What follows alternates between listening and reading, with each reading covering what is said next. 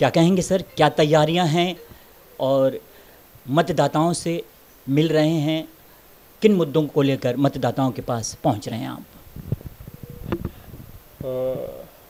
इस चुनाव को लेकर के और मतदाताओं के बीच में जो उत्साह है, समाज के बीच जो शोषित वंचित जमात है, जो प्रताड़ित समाज है, ऐसे लोगों का भरपूर साथ मिल रहा है, लोगों में उत्साह है। और लोगों को ये प्रमाण जो है, ये हो चला है, प्रमाणित है ये, कि असद साहब जो है किसी भी तरह के अन्याय को कभी बर्दाश्त नहीं करते, किसी तरह के अधिकारों का हनन किसी का हो, ये भी बर्दाश्त नहीं करते, किसी का शोषण नहीं बर्दाश्त करते, वो मुखर होकर के देश के समक्ष अपनी बात को रखते हैं और तथ्य और सत्य के आधार पर अपनी बातें रखते हैं। ऐसे में हम लोग भी उनसे सीखते हैं और उनकी क़्यादत में हम लोग ये चुनाव लड़ रहे हैं। और कोशिश करेंगे कि उनके नक्शे कदम पर चलकर हम लोग भी यहाँ देश की जनता के साथ और ख़ास तौर के, ख़ास तौर से उत्तर मध्य मुंबई जिला के लोकसभा क्षेत्र के जो रहवासी हैं, जो जनता है, जो मतदाता हैं, उनके साथ न्याय कर सकें, उनके अधिकार उन तक पहुँचाने का काम करेंगे हम। और जो उनकी समस्याएँ हैं, जो उनके मुद्दे हैं, उनके मसले मसाइल हैं, उन सब बातों को लेकर के हम बड़ी ईमानदारी के साथ आगे बढ़ेंगे, जिसका लोगों ने बड़ा स्वागत किया और सभाएँ छोटी हो रही हैं, लेकिन वो जो जमात है, शोषित और वंचित जमात, जो कमज़ोर वर्ग है, ऐसे लोगों का साथ मिल रहा है। आज ये लड़ाई मैं समझता हूँ कि पैसे की लड़ाई है और लोग इसके अंदर जो है बहुत बड़े बड़े लोग इसके अंदर शामिल हैं। जहाँ पर लोगों का पैसा है, वहीं पर हमारे साथ जनता का साथ है, विश्वास है। तो हमारे लिए वो बड़ी चीज़ है। हम लोग उसके साथ चल रहे हैं। हम थोड़े कमज़ोर ज़रूर दिखेंगे, लेकिन हमारे साथ जो जनता है, जो कमज़ोर वर्ग है, उसकी, उनकी दुआएँ हमारे साथ हैं और हम लोग इन कामयाब होंगे। उत्तर मध्य मुंबई की अगर बात करें तो नए चेहरे नज़र आ रहे हैं। वर्षा गायकड़ हों या उज्जवल निकम हों, और आप भी नए हैं जो उत्तर मध्य मुंबई के मतदाताओं से संवाद साध रहे हैं। ऐसे में क्या देखते हैं? भारतीय जनता पार्टी से पूनम महाजन दो बार चुन के आई थी।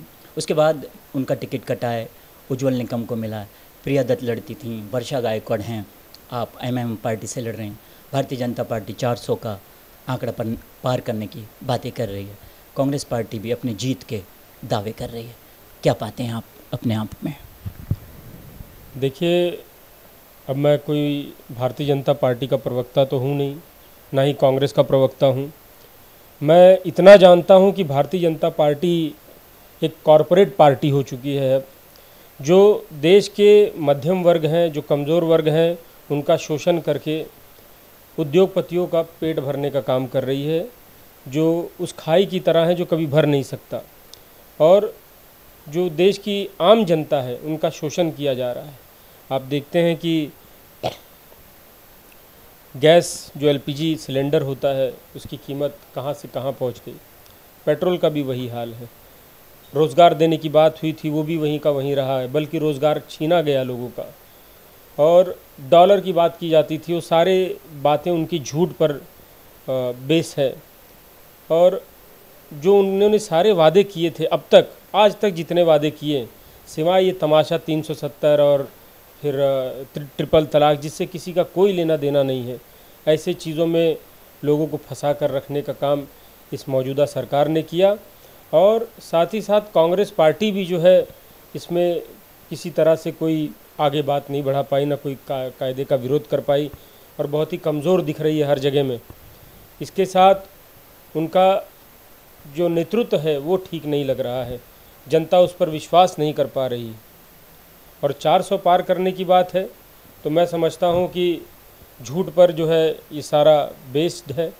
तो अब इसके साथ हम लोग कहीं ना कहीं आगे बढ़ रहे हैं हम लोग देख रहे हैं कि जनता का जो साथ मिल रहा है जमात को हमारे हम लोग भी छोटी ताकत के साथ आगे बढ़ रहे हैं, लेकिन हमें कामयाबी मिलेगी, ऐसी हमें पूरी उम्मीद है। जैसा कि आपने कहा, छोटी ताकत के साथ आगे बढ़ रहे हैं। एमएम पार्टी से आप लड़ाई लड़ रहे हैं। मुस्लिम जिस तरह वोटिंग है, उत्तर मध्य मुंबई की बात करें तो बड़ी संख्या में मुस्लिम वोटिंग यहाँ पर है।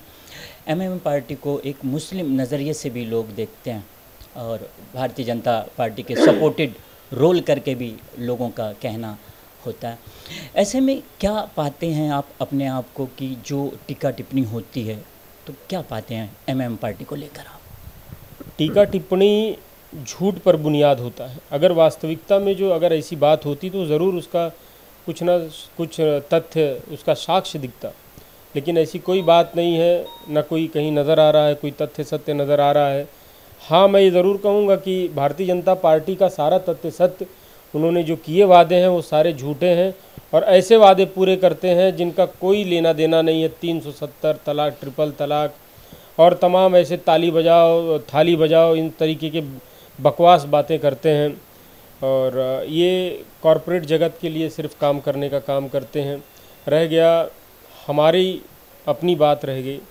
तो हम लोग सच की बुनियाद पर जो है हमने अपनी पार्टी का बुनियाद रखा हुआ है और इसके साथ हम लोग चल रहे हैं। और असद अवैसी साहब, इस देश के लिए मैं समझता हूँ कि ऐसा हीरा है जिन्होंने अपनी ईमानदारी की बुनियाद पर अपने अस्तित्व को खड़ा किया, वरना ना जाने ये झूठों का जो जमात है, ये लोग कहाँ से कहाँ पहुँचा देते हैं। उत्तर मध्य मुंबई की अगर बात करें तो वोट बैंक है एमएम पार्टी का। जैसे कि कुरला विधानसभा की बात कर सकते हैं, पच्चीस हज़ार वोट एमएम पार्टी के विधानसभा जो लड़े लड़े थे, उन्होंने लिया था। सेकंड नंबर पर रहे थे विधानसभा चुनाव में, कुरला विधानसभा से। और यहाँ की भी बात कर सकते हैं, चांदीवली विधानसभा की। यहाँ पर भी वोटिंग है एम पार्टी का। ऐसे में जीत की क्या उम्मीद आपको नज़र आ रही है? छः विधानसभा उत्तर मध्य मुंबई में। जीत की बात ये जनता पर निर्भर करता है। हम जनता के बीच जा रहे हैं जनता का विश्वास हासिल करने की कोशिश कर रहे हैं। जनता का प्रतिसाद हम लोगों को भरपूर मिल रहा है और ऐसी उम्मीद है कि हम लोग जो है अगर इसी तरीके से जिस तरह से आगे बढ़ रहे हैं जीत हमारी इन ज़रूर होगी। चलते चलते हैं। मतदाताओं से क्या अपील करेंगे जो आपको जिताने में अहम भूमिका अदा करे? मैं उत्तर मध्य मुंबई लोकसभा क्षेत्र की जनता से निवेदन करता हूँ कि 20 तारीख को पतंग के बटन को दबाकर असद अवैसी साहब का साथ दें, उनको भारी बहुमतों से विजय बनाएँ और इस लोकसभा क्षेत्र के लोगों को हम लोग उनकी सेवा कर सकें, उनको न्याय दिला सकते हैं उनका अधिकार उन तक ईमानदारी के साथ पहुँचा सके, मैं ये निवेदन करना चाहता हूँ। बहुत बहुत शुक्रिया। तो चुनाव हैं, लोकसभा के, मतदान करने ज़रूर जाएगा लेकिन मतदान करते समय ये ज़रूर देखिएगा कि स्थानीय क्षेत्र में जो नेता लड़ रहा है, आपके बीच जो वादे करने, वोट मांगने आ रहा है, क्या वो अपने वादों पे खरा उतरेगा? तो मतदान ज़रूर कीजिएगा, सोच समझकर अपना नेता चुनिएगा।